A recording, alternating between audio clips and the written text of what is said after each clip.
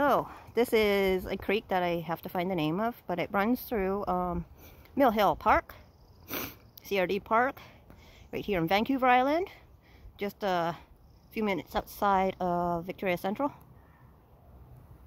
Go down the trail, and you have come to this little water this creek, which is really beautiful.